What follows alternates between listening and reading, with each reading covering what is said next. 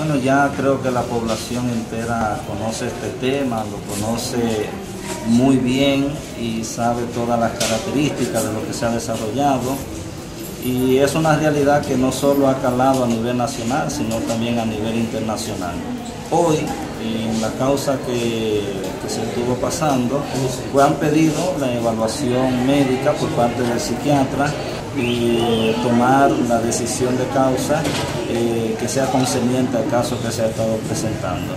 Sabemos muy bien sobre la inocencia de María del Carmen, es algo que no solo es evidente para uno por, por los lazos que tenemos con ella, es para todo un pueblo que le ha venido muy generosamente a acompañar y creo que para toda la persona que le ha conocido, le ha visto, se ha dado cuenta de esto. Creo que ya mañana con, este, con esta evaluación podemos dar este caso por cerrado y aunque sabemos que nada de esto le va a devolver la, eh, lo que ella física o psicológica o moralmente ha perdido, pero por lo menos la comunidad y la familia recupera a su nana. Fíjate, si te digo que estoy conforme, te mentiría, porque uno puede ver muchos elementos en esto que pueden ser juzgados, pero para nosotros ahora mismo lo más importante eh, es recuperar a la muchacha, que ella pueda volver a su ambiente, que ella pueda volver a su vida cotidiana, a lo que hacía.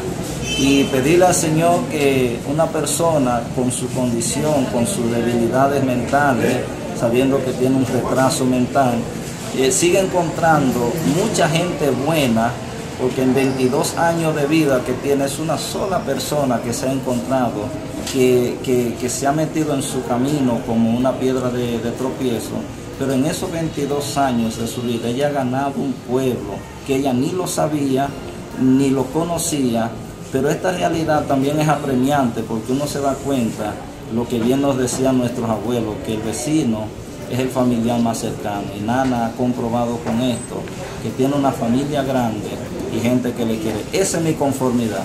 Darme cuenta de que Nana ha ganado una gran familia.